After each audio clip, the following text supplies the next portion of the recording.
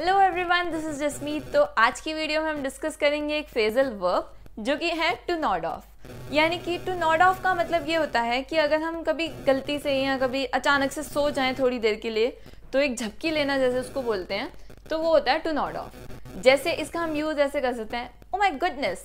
I just not of for just five minutes तो ये क्या है मैंने एकदम से मैं सो गया मुझे पता नहीं लगा मैं पाँच मिनट के लिए एकदम सो गया थोड़ी देर के लिए एक शॉर्ट नैप जो होती है उसको बोलते हैं node of Thank you. I hope you like this video.